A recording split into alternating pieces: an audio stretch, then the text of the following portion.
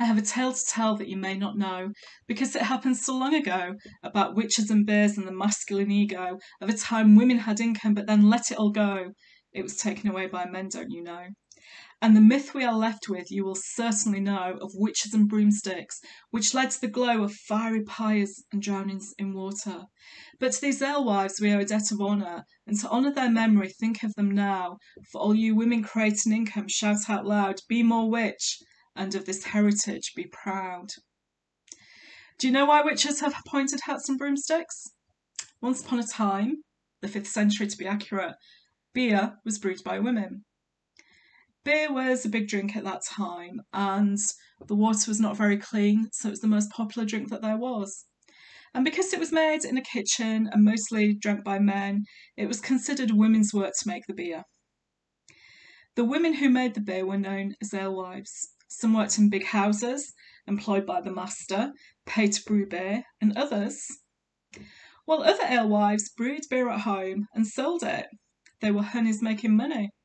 They were entrepreneurs and it was a cottage industry. These alewives had their own income and some level of independence. Yet society at the time had a low regard for the alewives, and plays and poems from the 14th and 15th centuries depict them as wayward and not being worthy of being saved from hell. And for many centuries, the alewives were the brewing industry, and they had some trademarks that identified them as such. If they were selling beer on an outdoor store, on an outdoor stall, they had a tall hat. And there's a tale that the height of the hat depicted how wealthy you were. The taller the hat, the more money you were making. And guess what colour the hats were? To advertise that they sold beer from home, they placed a broomstick outside the property, and the broomstick then was a sign of domestic trade. And they brewed their beer in big vats. One of the challenges to brewing was that mice likely rampant in those times, would hang around the vats hoping to catch stray grains used in brewing, which is a valid reason why the alewives would keep cats to kill the mice. You know where this tale is going, right? The brewing industry today is big business, and whilst there are female master brewers, it's a male dominated industry. Women were forced to stop brewing around the 15 and 1600s. This was for political, religious, and gender motivated reasons. The alewives were perceived as dangerous women and temptresses who lured men to spend their money on beer. And the patriarch at that time began a campaign to paint these women as wicked, and they were temptresses making men fall into bad ways. Because clearly men were too weak to take responsibility for themselves and their own drinking. That campaign, whilst I can find it was no evidence it was start of the witch hunts, did use the tall black pointed hat, the cauldron, the broomstick, and a cat to define the devils that these women were meant to be.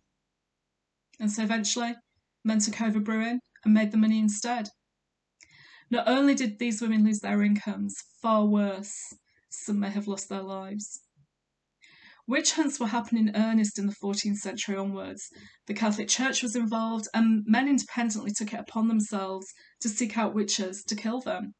This happened all over Europe, now, I'm not a historian and I don't wish to live in the past. The present moment is where the magic is. But this narrative of history explains the position of women in society today. Why, for no good reason, do women have difficulty making their own money? Because we have an ancestry that can be taken away from us at any time. We have an ancestry that we're not worthy of making money. And those accused of and killed as witches were not just alewives. They were women who acted as midwives, bringing life into the world, they were healers using natural remedies that nature gave us, and those who were intuitive and deemed to put spells on you. It's time to break bonds with this piece of history and reclaim the witch. If you're making your own income, wear your hat high. Consider using alternative healers and remedies if that's what you're called to do. And reclaim your intuition. Make spells for yourself to manifest the life that you want and to feel empowered. And this is a particular part of history across Europe, which has happened in North America.